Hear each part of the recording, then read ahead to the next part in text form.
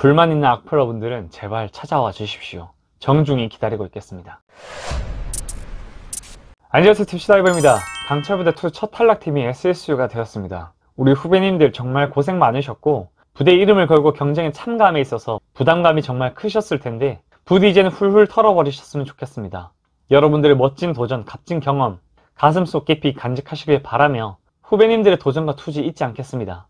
진심으로 존경하고 너무나 고생 많으셨습니다.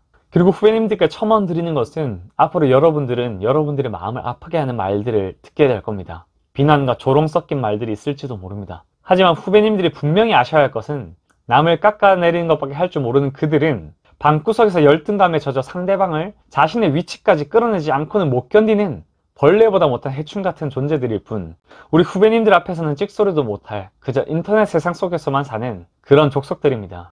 부디 재활용도 아까운 더러운 존재들의 쓸데없는 말들 보지도 듣지도 마음에 두지도 마시고 올바른 비판은 겸허히 받아들이시되 여러분들은 모든 것을 무릅쓰고 도전한 것만으로도 이미 승리자임을 잊지 않으셨으면 좋겠습니다. 우리는 누가 뭐래도 전군 유일, 오직 생명을 살리는 기술만 배우는 해군 해남구조대 예비역이며 우리는 누가 뭐래도 전군 유일, 세계 최고 기네스 기록을 보유한 세계 최강 SSU입니다. 강함의 척도가 국민의 생명과 안전을 지키는 데에 있다면 단연코 SSU가 최강입니다. 불만 있는 악플러분들은 제발 찾아와 주십시오. 정중히 기다리고 있겠습니다. 감사합니다.